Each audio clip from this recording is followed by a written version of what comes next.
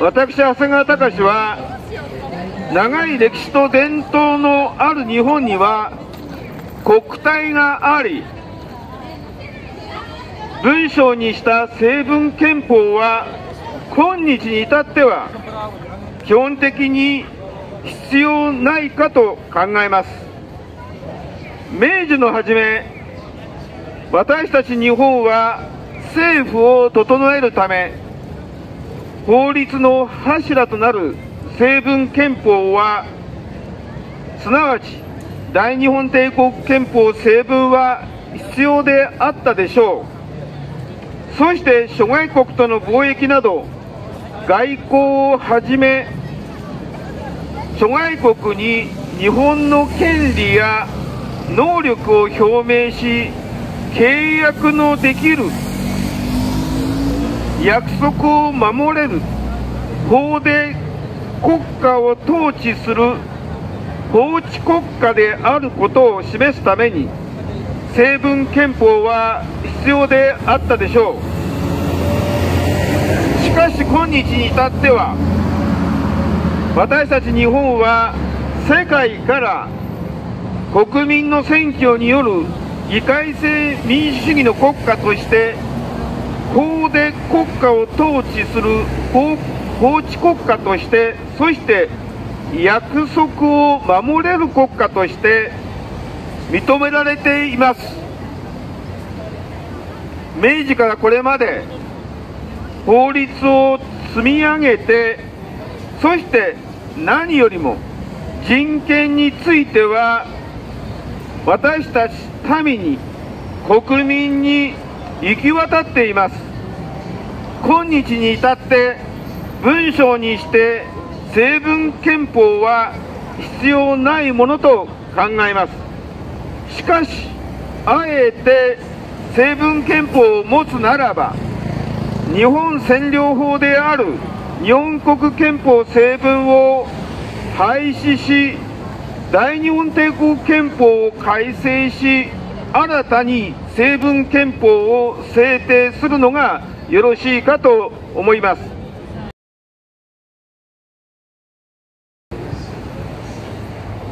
ご機嫌いかがですか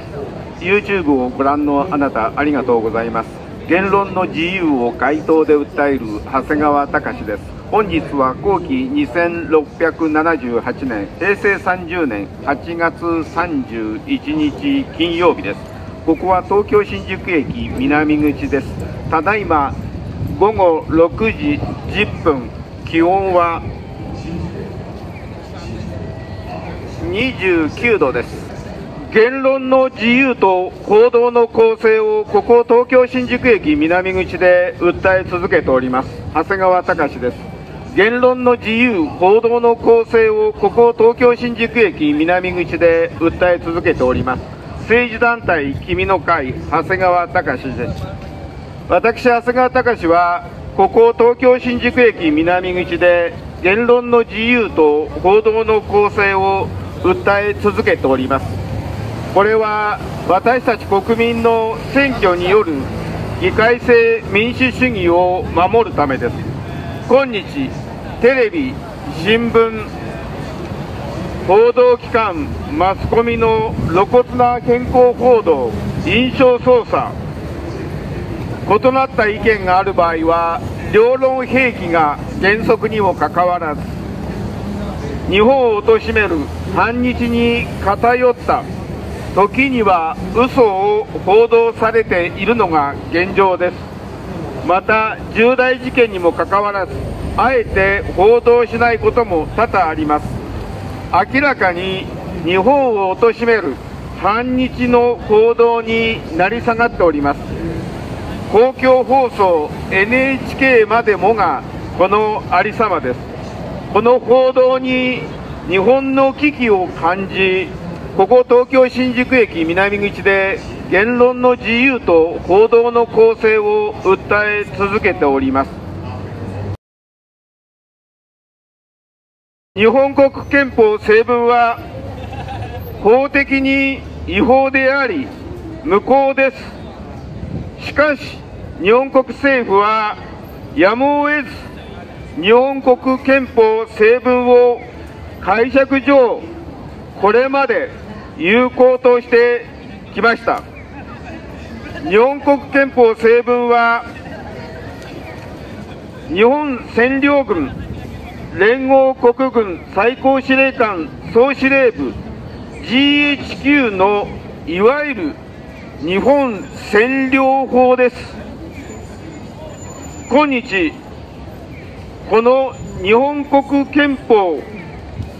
日本占領法は何のためにあるのか。そしてこの条文一部を改正。あるいは加える。これは何のためにしなければならないのでしょうか。安倍晋三は自由民主党総裁として憲法9条に自衛隊を明記し自衛隊が憲法違反の疑いがあるとの論争に終止符を打ちたいと言っています。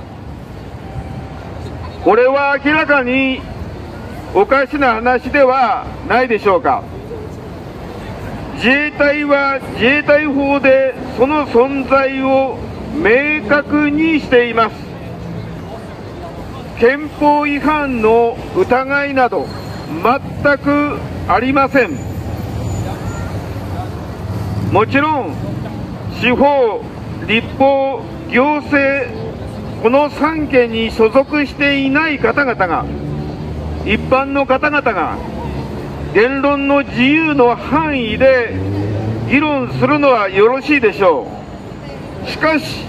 安倍晋三は自由民主党の総裁であり内閣総理大臣でもあります。行政府の長たる者が自衛隊法で自衛隊の存在を明確にしているにもかかわらず憲法違反の疑いがあるかのような発言は断じてなりません。内閣総理大臣は国民に対してそして自衛隊員自衛官の皆さんご家族お子さんに対して自衛隊が私たち日本を守ることこのことを記者会見をはじめ常々機会あるごとに表明し続けなければなりません。日本国憲法成文は法的に違法であり無効です。しかし日本国政府はやむを得ず日本国憲法成文を解釈上これまで有効としてきました。自衛隊は自衛隊法で定められ存在のその存在を疑う余地はありません。国防安全保障のため戦力と交戦権を保持すること持つことは現在の日本占領法である日本国憲法成文を解釈変更することで十分なのです。国家には主権があり自衛権があります。これは差し迫った戦害に対して武力をもって排除する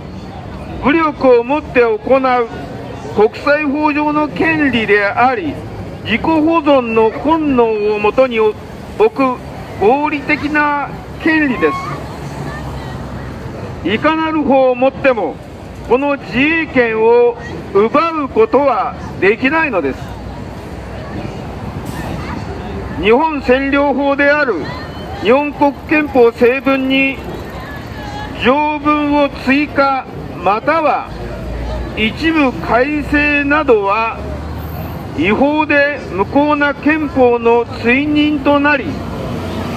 今後の解釈変更がますます